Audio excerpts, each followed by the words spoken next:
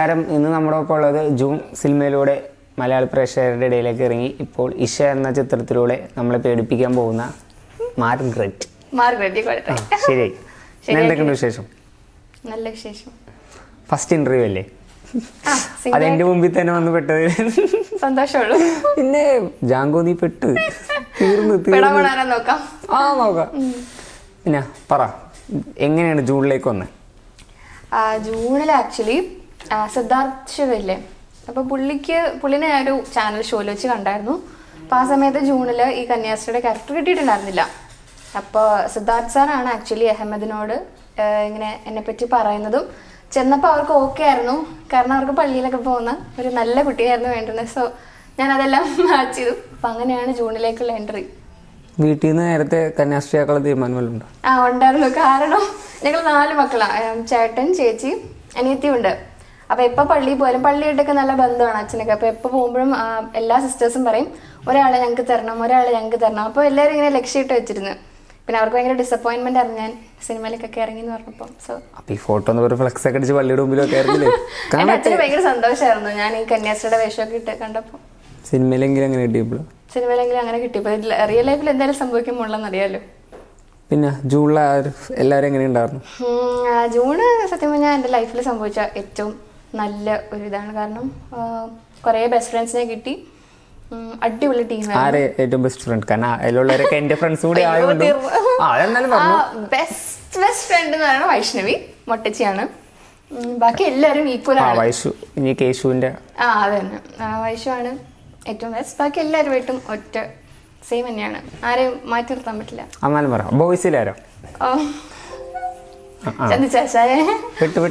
ബോയ്സിൽ എനിക്കൊന്ന് ജിഷ്ണായിരിക്കും. മറ്റേ karate?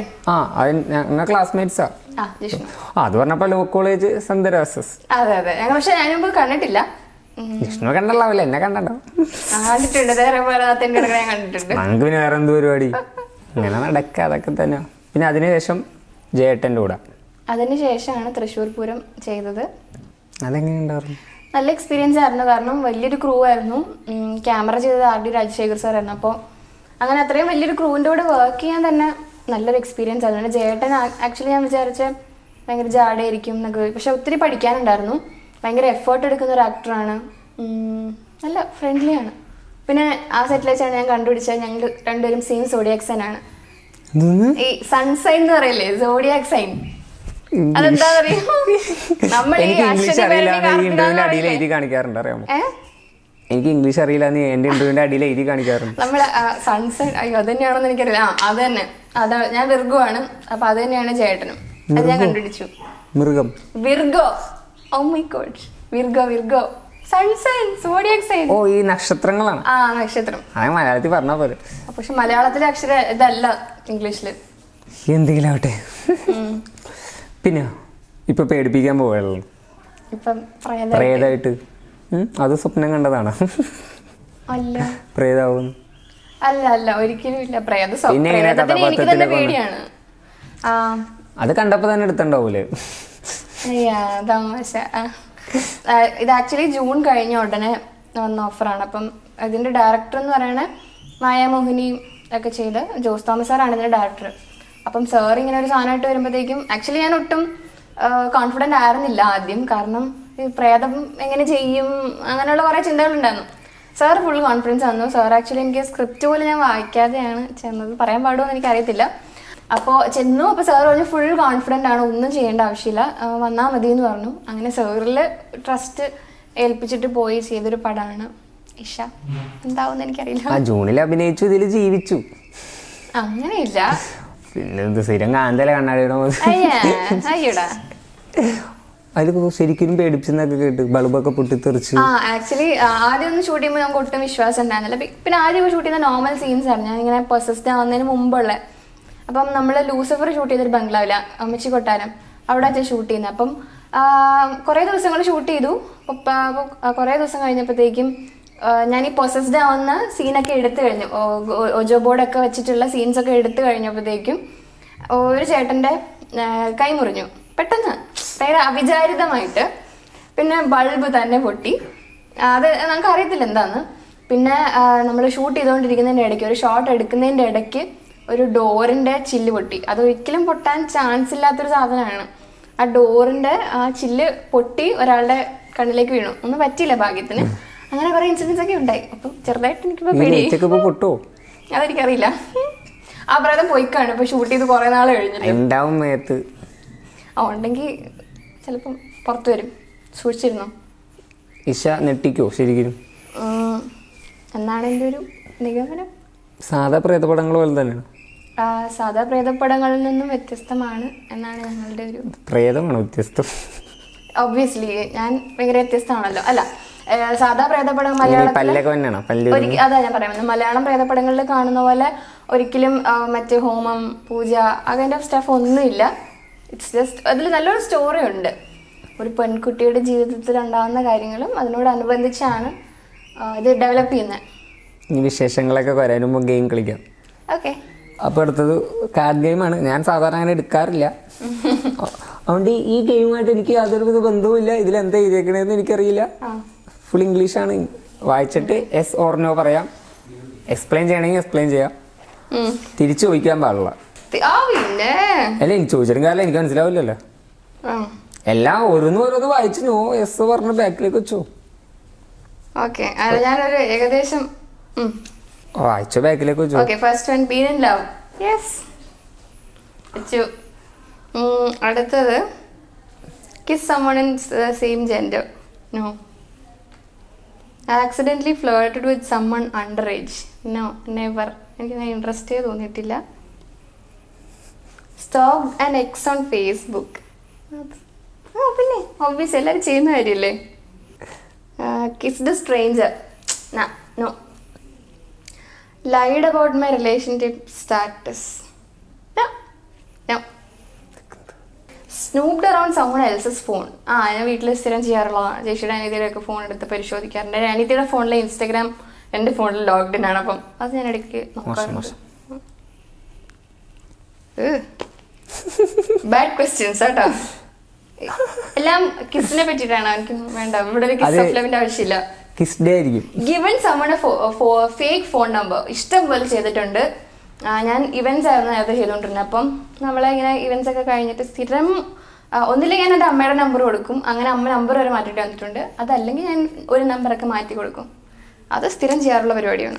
Kiss ഒന്ന് കിസ് ഡേ ആയിരിക്കും. വാലന്റൈൻസ് ഡേ അല്ല അതിന്റെ. അതാ പറഞ്ഞത്. ഇതെങ്കിൽ യാതൊരു ബന്ധവുമില്ല ഓ. പിന്നെ ആ, ഇത് ആ ഇത് കഴിഞ്ഞു. ഇത് ഞാൻ ആൻസർ ചെയ്യാൻ ആഗ്രഹിക്കാത്തൊരു ക്വസ്റ്റ്യൻ ആണ്. വെറുതെ ഒരു കോൺട്രവേഴ്സിയുടെ ആവശ്യമില്ല. Last time made out in a public place no big no കഴിഞ്ഞ്. ഇതെന്തുകൊണ്ട് പറഞ്ഞു എന്ത് എന്റെ ഒരു ആവശ്യം പറയേണ്ട ആവശ്യമില്ല. നിങ്ങളെ പോലുള്ള സദാചാരവാദികൾ സ്ഥിരം ചോദിക്കുന്ന. അല്ല ഇത് ഇന്റർവ്യൂ കഴിഞ്ഞിട്ട് എനിക്ക് ഉത്തരം തരണം ആലോചിക്കാം. ഞാൻ പറഞ്ഞാ എനിക്ക് യാതൊരു ബന്ധമില്ലാന്ന് എനിക്ക് ബായി ഒന്ന് തിരിച്ചു ചോദിക്കാറുണ്ട് തിരിച്ചു ചോദിക്കാറുണ്ട് ഭാഗ്യായി പെട്ടുപോയനെ. ആണല്ലേ? ഇതിൽ പകുതി സാനിഫിക്ക് ഉത്തരം ഉണ്ടാവില്ല. ഇല്ല ഇതിലൊന്നിലും ഇല്ലെങ്കിൽ പിന്നെ ബാക്കിയും ചെയ്തിട്ടുണ്ടാവില്ലല്ലോ. പാത്തറ്റിക് സിംഗിൾ ആണ്. അപ്പൊ ഇതിൽ ഒന്നും ബാധകമല്ല. എന്ത് ചെയ്യാൻ? പട്ട് ഈ വാലന്റൈൻസ് ഒക്കെ ഒരു പെണ്ണിനെ കിട്ടും. നമുക്ക് ആശംസിക്കുന്നു. ഞാൻ പ്രാർത്ഥിക്കുന്നു. അനീതി സിംഗിൾ അല്ലേ?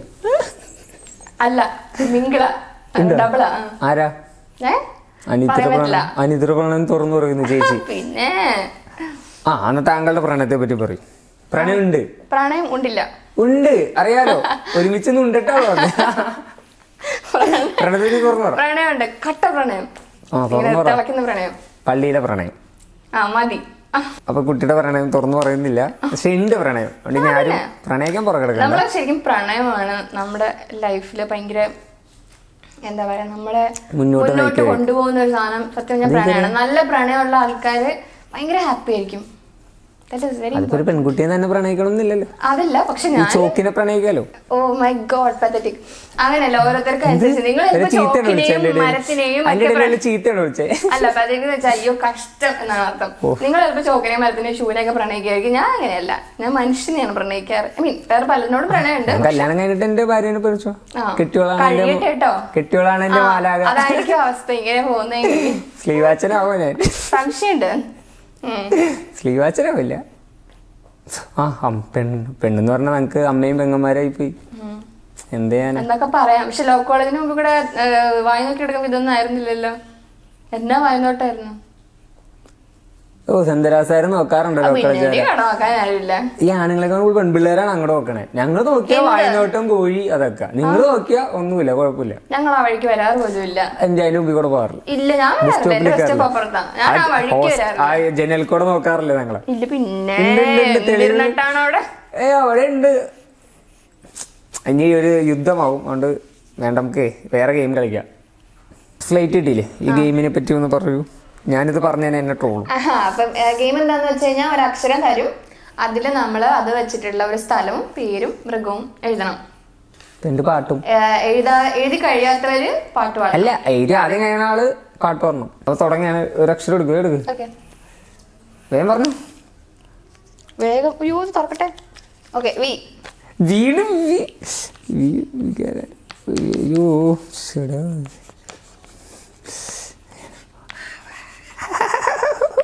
ഞാൻ കഴിഞ്ഞ ഞാൻ കഴിഞ്ഞ. പാട്ട് വേണം അയ്യോ, പാട്ട്. വാ വാ താമര പെണ്ണി നീ എൻ പൂങ്കരല്ലേ കൂടെ കളിക്കാൻ വാ. ഓ താളം കൊള്ളാൻ വാ. അത് മതി. എന്തൊക്കെ എഴുതിയേ. സ്ഥലം. വൈക്കം. പേര് വേണു. മൃഗം. വൾച്ചർ. കഴുകൻ. ഞാനത് മലയാളവൽക്കരിച്ചു. സ്ഥലം വികാലാൻഡ്. എന്റെ ഇന്റർവ്യൂ എനിക്ക് ഇഷ്ടമുള്ള ഞാൻ എഴുതും. പേര് വേണു. തന്നെ മൃഗവും കിട്ടിയില്ല. അതിന് വരാൻ വി വെച്ച് വവ്വാൽ എഴുതി. ഫൗളാണ്. സമ്മതിക്കില്ല. പാട്ട് പാടിക്കോ. ഇതിൽ രണ്ട് ഡിസ്ക്വാളിഫിക്കേഷൻ വന്നിട്ടുണ്ട്. വീഗാലാൻഡ് ഒരു സ്ഥലമല്ല. പള്ളിക്കരയാണ് വീഗാലാൻഡ് ഇരിക്കുന്ന സ്ഥലം. വീഗാലാൻഡ് അമ്യൂസ്മെന്റ് പാർക്കാണ്. അല്ല. പക്ഷെ വികാലാൻഡിന്റെ പേര് മാറ്റി. അതറിഞ്ഞില്ല. എന്ത് മാറ്റി? വണ്ടർലേ ആക്കി. എന്നിട്ട് പിന്നെ എന്തിട്ടാ എഴുതി ആ, ഇത് പാട്ട് പാടിക്കോ. ഞാൻ രണ്ട് ചോദ്യം ചോദിക്കാം. ഒന്ന് പാട്ട് ആദ്യത്തെ പാട്ട്.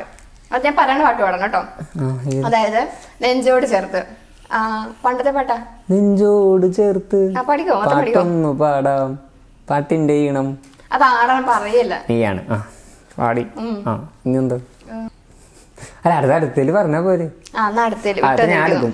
Three one two three start S സാൻഫ്യൂസിഡസ് സ്ഥലം.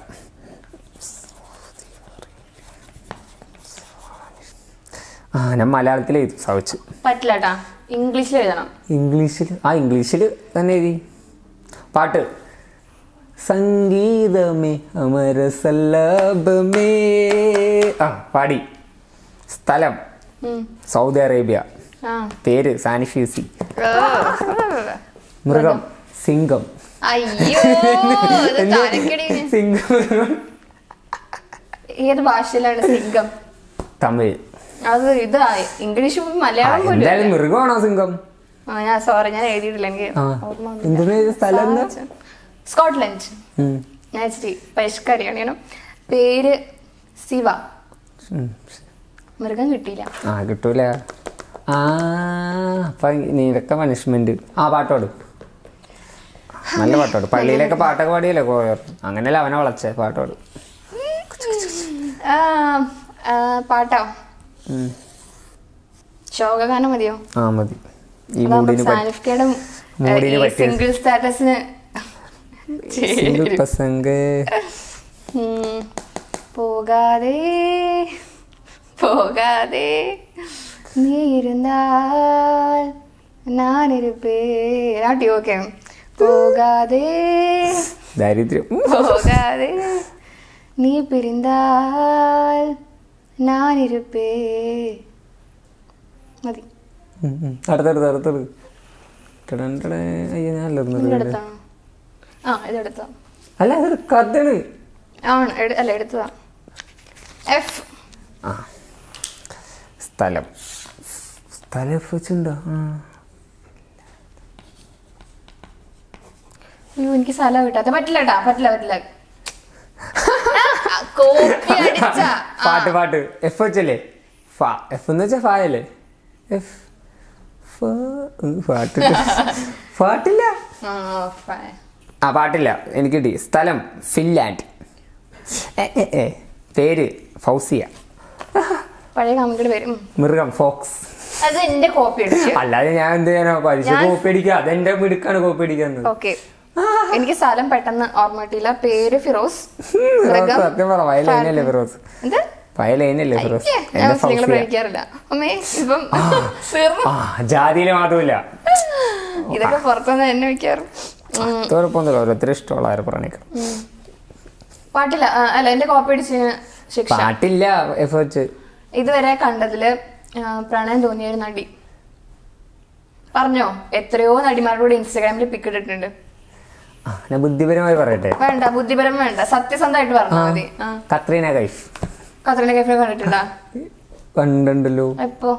കണ്ടുണ്ട്. പിക്ക് ഇട്ടിട്ടുണ്ടാ പിക്ക് ഇടണം ഇഷ്ടമുള്ള ആളുടെ അത് പറയാൻ പറ്റില്ല. അത് പറ്റില്ല അത് പറ്റില്ല. മലയാള ഇൻഡസ്ട്രിയിൽ കോപ്പി അടിക്കുകയും ചെയ്തു. അത് പറ്റില്ല സമയക്കില്ല മലയാളം ഇൻഡസ്ട്രിയിൽ പ്രണയം തോന്നിയ ഒരു നടി. അങ്ങനെ ആരും തോന്നിയില്ല. സത്യം തോന്നിയുള്ള എസ്കേപ്പ് ചെയ്തു. എസ്കേപ്പ് അല്ല തോന്നിയുള്ള അവരെല്ലാം എന്റെ പെങ്ങന്മാരാണ്.